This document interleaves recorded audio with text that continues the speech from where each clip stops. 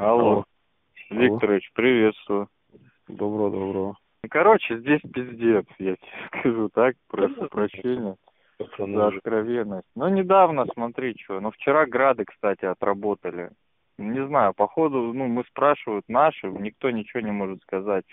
Наша колонна осталась, другая поехала, расхерачили ее, град опять же накрыл. Тоже к медикам я подходил, здесь есть медики, 66 или откуда они там, хрен пойми. Подхожу, говорю, так и так по поводу обморожения. Говорит, а что, у нас, говорит, только бинты, говорит, и все там для трехсотых. Я тебе скажу так, обморожение ног у 50% личного состава. Здесь, я тебе скажу, здесь двухсотых отправить не могли нормально. Они с нами дней пять катались. Я представляю. Мы приехали, здесь мороз. Ну, как бы мы вообще ехали с условием того, что у нас было четыре палатки М-30. У нас одна палатка. Буржуйки никакой не, не оставили. Короче, вообще писец. И то эта палатка не для нас.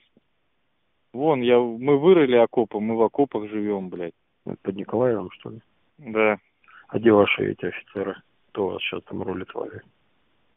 Здесь Рязанцев рулит. Приехали, мы его первый раз увидели, он говорит, это было на четвертый день. Он нам, знаешь, что сказал?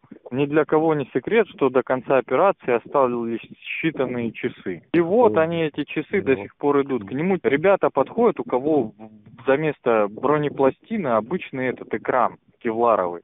Там, товарищ генерал, этот, блин, вот у меня такая-то ситуация, он говорит, сынок, крепись, и съебался.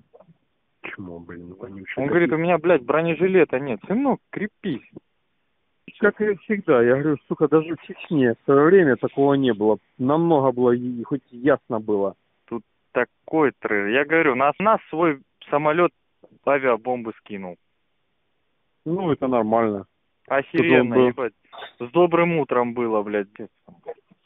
Не знаю, это, блядь, дурдом нахер. Это спецоперация, блядь, по с учетом того, чтобы дома не разрушать. Это все, да это бред, блядь.